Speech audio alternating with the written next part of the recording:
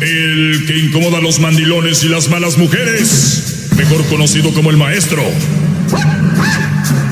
Aquí está el sensei. Él es el doggy.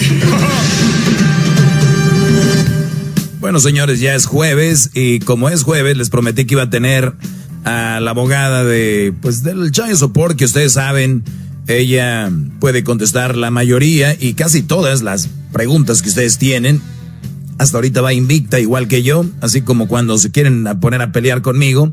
Así que vamos rápido con ella y tenemos en la línea a Felipe, pero primero saludo a la abogada. Eh, abogada, muy buenas tardes. Preséntese al público, diga quién es, dé su número para que se den un quemón ahí todos estos brodis y también mis alumnas. Adelante. Saludos a todos, les habla la abogada Rosa Elena Sagún y nuestro número es 877-682-4525. Saludos a todos. Muy bien, Rosa Elena, pues eh, el día de hoy tengo algunas llamadas, eh, tengo ahí en la línea a Felipe. Felipe, buenas tardes, Brody, ¿cómo estás? ¿Cuál es tu pregunta aquí para la abogada? Ah, buenas tardes, aquí trabajando. Eh, mi pregunta para la abogada es de que estoy pagando la manutención de hace más de hace un año y medio. La mujer no me deja ver al niño. Un punto. El segundo punto, fui a las oficinas de a la corte, llené los papeles que me pidieron y di el número de, nacimiento de mi hijo y en el sistema aparece otra otra fecha. Y le dije a la señora que, que ayuda, le dije, este, quiero una prueba de ADN. Y me dijo que yo no la podía hacer, que la corte no lo puede sustentar, que yo tengo que buscar mis propios, mis propios medios. Y luego le dije, ¿cómo voy a pagar chivo sopor si no sé si ahora el hijo es mío o no? Dice, tú firmaste, tú tienes que pagarlo. Le dije, ahora, si, si no es mi hijo, ahora yo tengo que pagar. Dije, entonces, ¿qué clase de... Felipe, escúchame, escúchame. Si tú has pagado manutención por casi un año y medio, ¿por qué hasta ahorita estás trayendo la mesa que si es tu hijo biológico o no. ¿Por qué no? Porque fui a la fui a la oficina, yo di un número de fecha de nacimiento de mi hijo y ya resulta que pues que tienen otro otro otra fecha. A ver, abogada, a mí lo que más me sorprende usted es que este brother ya me desesperado a buscar una solución y que el brother le platique toda la historia que usted su primera pregunta sea, ¿por qué hasta ahorita? O sea, ¿por qué no? ¿Por qué no? ¿Por qué no?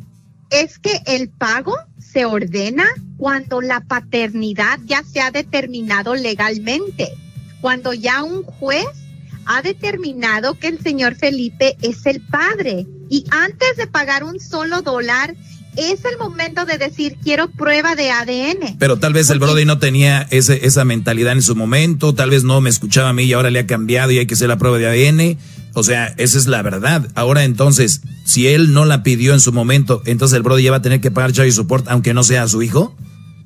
Si pasaron, varía de estado a estado el tiempo que le dan para deshacer uh. una falla legal. En California tienen seis meses de cuando se finalizó la falla de paternidad para entonces decir quiero hacerla a un lado y quiero pelear la paternidad. Puede ser que sea demasiado tarde en este caso y aquí el mensaje es no se esperen hasta que ya han pagado meses y meses. En cuanto reciban documentos de la oficina de Child Support, no los tiren a la basura como muchos los hacen, los tiran, los ignoran porque piensan que su nueva pareja se va a enojar y qué sucede, que va pasando el tiempo y van cerrando la ventanilla que tienen para poder pelear la paternidad. Contesten rápido, contraten a un abogado, pero si no pueden pagar un abogado, acudan ustedes a los tribunales, pidan hablar con un juez y no se dejen presionar por los abogados que trabajan para el Departamento de Child Support. Eso también es muy bueno porque a estos brothers les vale, para ellos es cada día es un caso más, un caso menos. Ustedes es esto depende su es, su vida de ustedes. Ahora, abogada Roselena, entonces quiere decir que por ejemplo, de varía de estado en estado, digamos en California, la gente que vive en el área bueno, en California, ¿cómo funciona? ¿Al cuánto tiempo yo puedo ir a decir, oigan, quiero prueba de ADN para que digan, ah, se cancela el child support eh, porque no es tuyo? ¿Cuánto tiempo? Depende de la situación, porque si te llegaron documentos que no los recibiste por X motivo, porque a veces se extravían y si te llega y si no recibiste el documento a tiempo, tienes seis meses de cuando el juez emitió la orden y la falla de paternidad para ir a tratar de deshacer esa orden. Pero no hay que esperarnos hasta ese tiempo. En cuanto ustedes sepan que la mujer va a ir a pedir child support o les llegue un documento, aunque no lo sepan leer, no lo ignoren. Así como piden ayuda a los compadres y amigos para otras cosas cuando se necesita el inglés, acudan con alguien que les ayude a interpretar esos documentos y también nosotros ofrecemos consultas gratuitas para que ustedes no dejen pasar el tiempo y después es posible que les pase que tengan que mantener un hijo que no es biológico de ustedes porque la ley lo reconoce como de ustedes. Ahora, Brody, ¿tú por qué dudas o qué te hace dudar el que esta mujer puede ser que ese hijo no sea tuyo. Yo ya, ya dudaría porque siento como que se anda escondiendo, la fecha de nacimiento ya no hace, dice, dirían los pochos, ya no, ya no machea, ya no hace match. Entonces, ¿qué, te hace dudar de eso, Brody? El problema es que mi hijo nació este, en julio y la, trabajadora ahí de la corte me dijo, aquí tenemos registrado de penación que es, es de febrero, entonces tal vez la mujer por coraje cambió, cambió la fecha o no sé, y por eso le dije a la, a la, señora, entonces si yo quiero una prueba de ADN, porque si no es mi hijo, ¿cómo voy a estar pagando algo que no es mío? Felipe, en los, en los documentos, en los documentos iniciales para empezar un caso de child support llevan el nombre y fecha de nacimiento del menor.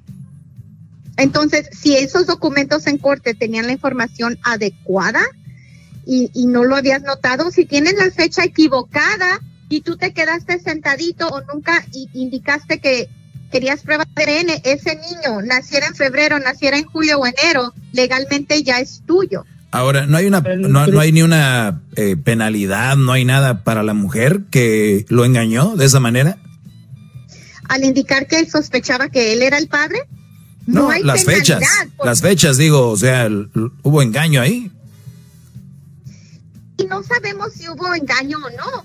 Sí, sí, y aquí hay que recordar, el Departamento de Child Support tiene millones de casos que si a veces teclan algo mal, también, pero lo que se tiene que ver son los documentos que se archivaron para empezar el trámite y ahí es donde se tiene que ver la fecha, porque si, por ejemplo, digamos que el niño nació en junio y hay una falla que el niño que nació en junio es de Felipe pero el departamento de Child Support quiere recobrar por un niño que nació en febrero, ahí sí hay base para decir, oye, me estás cobrando por otra criatura.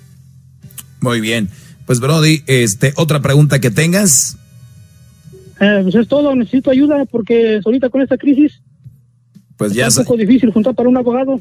No, pues ya, ya lo dijo la abogada la semana pasada. Con esta crisis hay ajustes a muchos que están pagando el child support. Hay ajustes, hay ayudas para los que están en este asunto. Pero como usted dice, abogada, la mayoría, y yo me incluyo, ¿eh? yo le voy a decir la verdad, soy muy flojo, papeles, firmas, soy muy decidioso.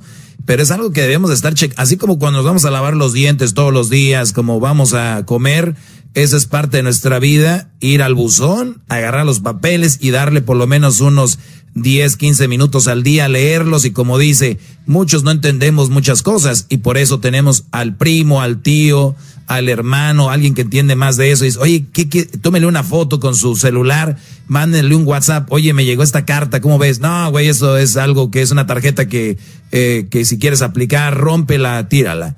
Oh, ah, eso te, te mandaron de que tienes que llenarlo y mándalo, una segunda opinión. Hay que ser curiosos con esos papeles porque pueden cambiar nuestra vida. Imagínate, Brody, como dijo la abogada, pagar dinero a una vieja que te engañó, que tuvo un hijo de otro y que no solo te engañó psicológicamente, físicamente estás dañado, también económicamente lo vas a estar, va a estar pagándole y a ellas no les va a importar. Tú piensas que es como la mayoría de hombres que dicen, no, ¿cómo voy a recibir dinero?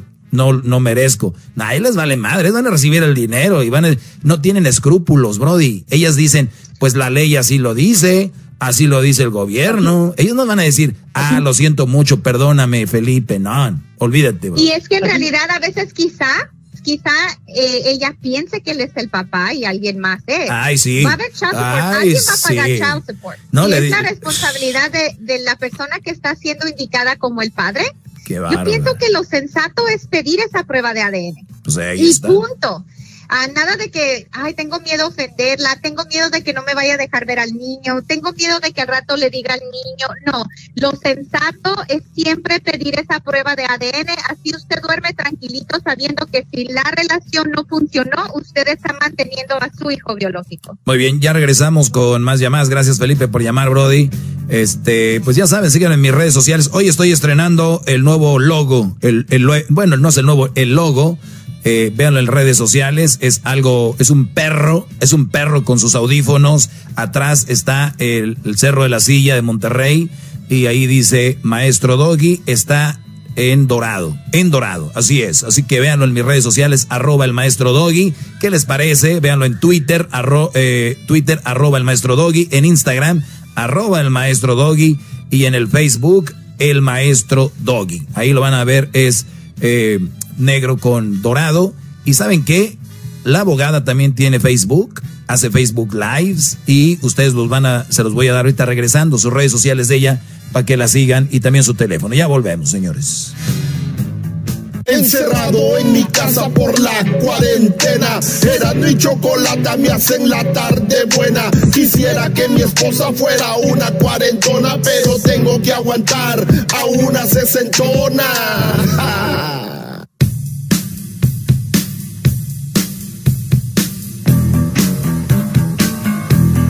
Bueno, ya estamos de regreso. Vamos con más llamadas que tienen que ver con el Child Support. Buenas tardes, ya es jueves. Jueves de postear fotos donde cuando eran niños. Y nada más les digo una cosa a la mayoría de mujeres. Es jueves de poner fotos del recuerdo. ¿Ok? Pero no sean malas. La mayoría de mujeres hacen esto. Ponen fotos donde ellas se ven bien y sus amigas se ven bien cateadas. hay que tener poquita consideración. Yo he visto muchas, y esto, eh, eh, mira, ya, y ahí tenemos gente riéndose, porque es la verdad, o, no es la verdad, este, se llama Cindy, ¿verdad? Cindy, o, no es verdad, Cindy. Sí, sí es la verdad. ¿Eh? Siempre escogen las que, las que se ve mejor uno y las amigas que tiene, como sí, claro. Hay, hay, mujeres que dicen, mira, mira, esta, esta me gustó, y dice la otra, no, pero mira cómo salí yo. Y, y así queda. Y entonces ya pasa el tiempo, esas fotos se quedan ahí y se les olvidó lo que dijo la amiga, o les valen. Le dicen, ya no me hablo con esa gedionda, ahorita vas a ver lo que va a pasar. Ay, un TBT, un TBT, Talkback Thursday, y ponen ahí la foto y sale la amiga toda mal. Es más, hay unas que ponen fotos de, del recuerdo y no se pasen. Si ya está así es del recuerdo, ¿para qué la hacen Photoshop? Entonces, entonces ya, ¿qué, qué, recuerdo? Pero bien, es parte del show. Señores, tenemos a la abogada Rosa María eh, y estamos hablando del Child Support. Ahorita Me están bautizando de nuevo, Rosa Elena. Perdón, dije Rosa María, que, es uno de los errores más grandes que he hecho en mi vida. Rosa Elena, Rosa Elena, eh, dijimos antes de ir al corte que ibas a dar tu Facebook, tu Instagram y todo, porque también haces Facebook donde ayudas a la comunidad. Platícanos un poco. Claro, ahorita que estamos en tiempo de coronavirus y todos estamos encerrados, cada viernes a las 7 horas del Pacífico tengo un live donde pueden conectarse, hacernos sus preguntas, darnos ánimos unos a otros. La situación está crítica, pero es, la vamos a sobrellevar. Así es de que los espero en mi página de Facebook que es Sagun Law y también me pueden seguir si gustan ver imágenes en Instagram bajo abogada Roselena. Muy bien, y, y, úsenlo para algo bien, ¿no? Para andarle mandando ahí, ay, que qué bien, que, que si es soltera, que si bajan y tal, no, brodis, les digo. Pero bien, vamos con Cindy, gracias por esperar, Cindy. La pregunta eh, que tienes aquí para la abogada, adelante.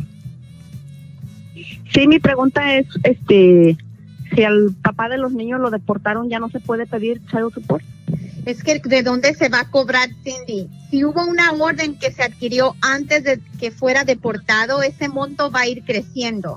Pero colectar es algo que quizá no se vaya a poder lograr. Entonces, si tus hijos son ciudadanos y calificas para ayuda del gobierno, quizá eso sea lo que tengas que hacer, pero no va a haber manera de poderlo cobrar. Y a veces aunque el papá no sea deportado, si no está trabajando un número de seguro donde el departamento de Child Support o nuestra oficina pueda rastrearlos para cobrar, también no vas a poder rastrearlo para recibir ese pago directamente de la persona. Oye, esta pregunta es muy interesante porque lo ideal sería de que uno como padre así tenga, como dicen vulgarmente, un hijo regado por ahí o un hijo que no quieres tú pues que no quiere estar con su mamá, pero tienes un hijo. lo principal, y yo siempre les he dicho, es responder por ese niño, así no te guste la mujer, no la quieras, pues hay que ayudar al niño, el niño no tiene la culpa. Punto número uno. Número dos, vamos a decir que yo quiero, este, abogada, pero pues me deportaron y en México el salario viene siendo una migaja de lo que es el, pues, Obrador lo dijo el otro día, es donde se paga el sueldo más bajo. Apenas voy a sacar para comer, obviamente no voy a poder ayudar a mi niño, ¿verdad? Con dinero. Entonces, el gobierno de Estados Unidos va con Cindy y le dice, ¿cuántos hijos tienes, Cindy? Tengo dos. Vamos y le dice, Cindy, tienes dos niños. Eh, ¿A ella con cuánto dinero le ayudarían, por ejemplo? Yo no sé, yo no sé te sabría decir qué es la cantidad que cada estado daría por dos niños. Yo no soy especialista en beneficios sociales, pero si Cindy es de bajos recursos y sus niños son estadounidenses, cada estado tiene un programa de ayuda financiera donde la pueden apoyar tanto con dinero, con estampillas de comida, etcétera, porque al final de cuentas los niños tienen que comer y los niños no tienen la culpa que la relación no uh, pudo funcionar y que ahora el papá no está.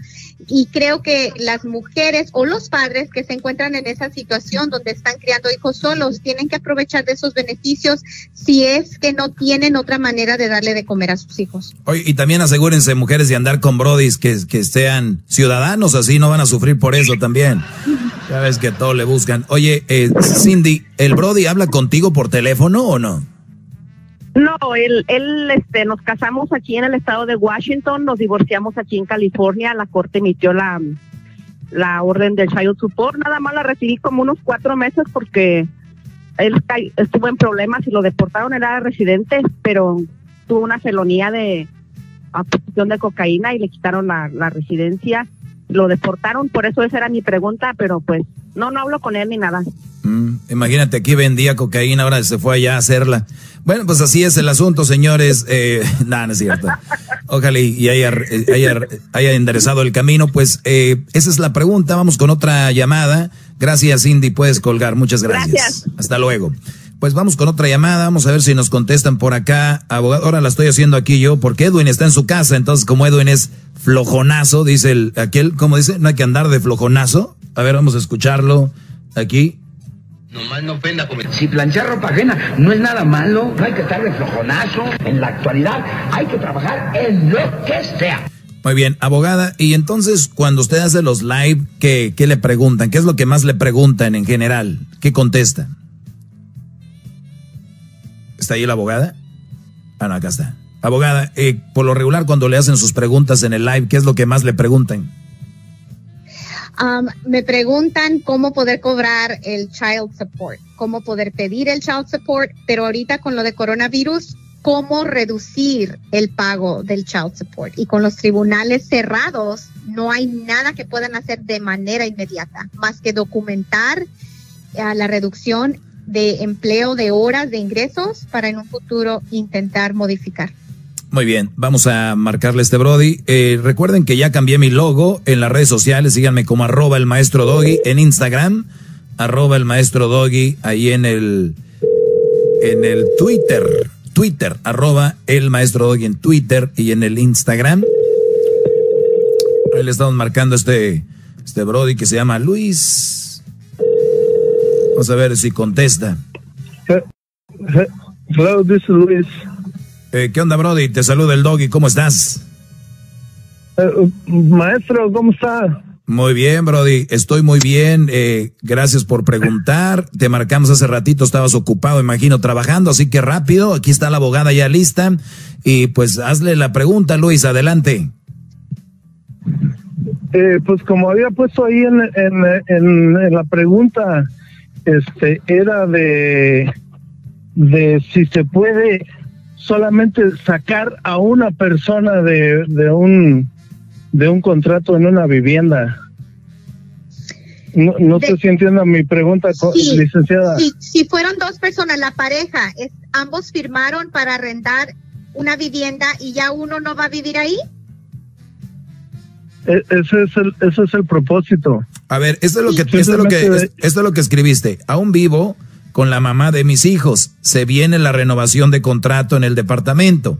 En el contrato solo se usa mi, mi income, o sea, lo que tú ganas, solo dos años poniéndola como de depende. La pregunta es, ¿la puedo sacar del contrato y sacarla de la casa y quedarme con mis hijos? Niño de cinco y niña de tres. ¿Estás casado legalmente? Eh, no, licenciada.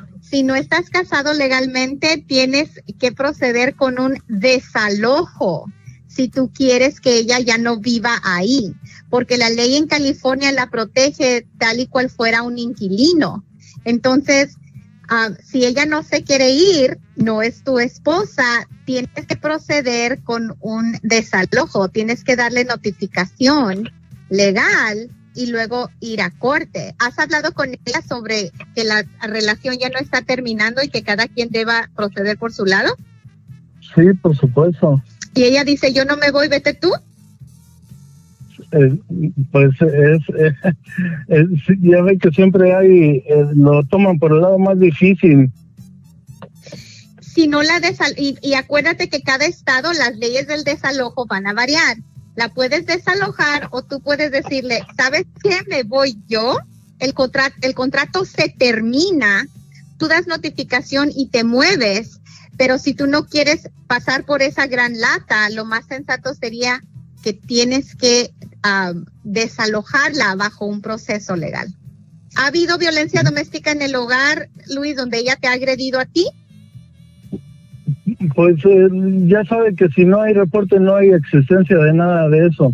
Yo sé dónde está su oficina, abogada. Me gustaría ir a platicar con usted y darle las gracias al maestro por este gran, este gran espacio que nos da a los padres que no sabemos qué hacer de repente con las malas mujeres y este pero no todas somos malas, Luis, no todas somos malas. no, no, él, dijo con las malas. él, dijo con las malas los que crecemos con una buena mujer, los que crecemos con una buena mujer, creemos que no existen esas malas mujeres.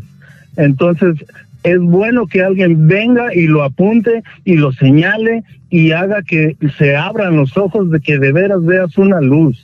Oye, Entonces, pero el maestro te agradezco, Brody, te debe de Tóquenle la corneta al maestro, por favor. No, espérame, ahorita no. Oye, pero fíjate, ¿qué me sorprende más de todo esto? Que este bro ya haya dicho, me gusta que ponga el dedo en la llaga con las malas mujeres. Y dice la abogada, no todas somos así, no todas somos así. A ver, él nunca ha dicho que todas. Si la abogada, que es estudiada, dice, oye, que es una mujer inteligente y que lo es, pero ni ella entendió el de que hay malas mujeres y de esas hablo, no que todas lo sean. Sí entendí, pero quiero ser hincapié, hincapié. ¿Por qué? ¿Por qué hincapié? muchas que no somos tan malas, hay unas mejores que otras, más malas que de hay de todo. Sí, sí, pero aquí se habla de eso. Ya la voy a conocer, abogada, ya la voy a conocer, abogada. Oye, dónde está su, oye, Brody, pero... Con todo gusto, Luis, con todo gusto. Pero cálmate, Luis, ¿eh? Ahí tiene seguridad y todo. ¿No crees que tú ya sacaste a la otra vieja para meter aquí a la abogada tampoco? al contrario, le va a gustar, le va a gustar. Nada, no, está bien, Brody. Cuídate, cuélgale ahí, Brody, te agradezco mucho.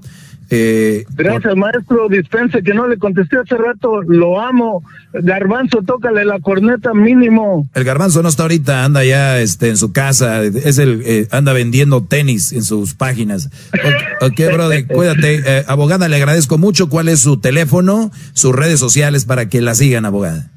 Número de teléfono 877-682-4525, 877-682-4525, Instagram bajo abogada Rosa Elena y ojalá me sigan también en Facebook bajo Sagun Law. Los espero live en vivo cada viernes durante el coronavirus a las 7 horas del este.